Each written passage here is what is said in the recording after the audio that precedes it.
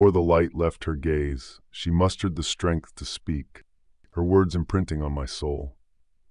I'm not as crazy as everyone says I am. Trace my steps and find me. With those cryptic words, she took her last breath.